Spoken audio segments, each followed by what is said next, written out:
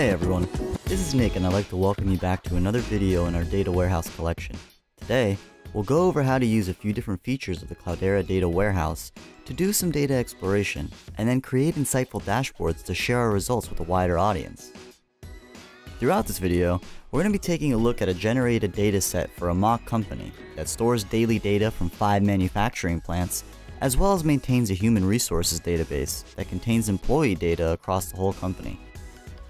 We'll dig more into the data further on, but to start, we're going to create an Impala virtual warehouse into which we're going to load all our company data.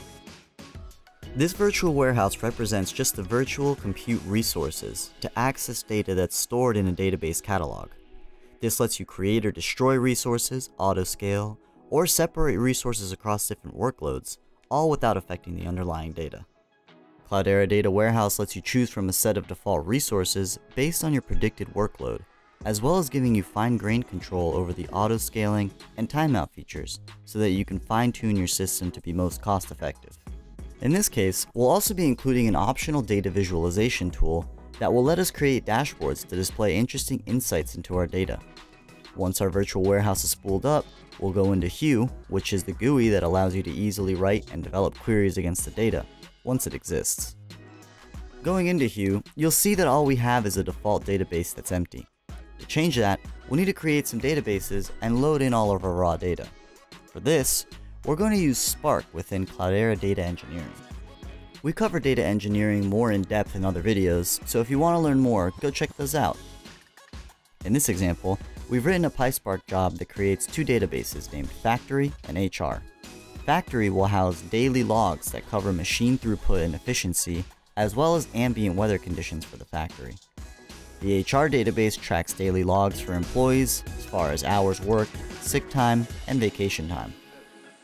We'll upload our Spark job to the data engineering cluster and let it handle the rest. Once the job completes, we can see some statistics on the run and confirm that all the data has made it into our Impala virtual warehouse. Moving back into Hue, we have a nice web-based development environment where we can start writing queries to learn something from this data. For some motivation, upper management has recently been complaining about a downturn in revenue this fiscal year. They've tasked us to look into the data and see if there could be any potential insights as to why there may be a slowdown in revenue. First, we're going to run some queries against the factory data to see if there's any outliers or interesting things there.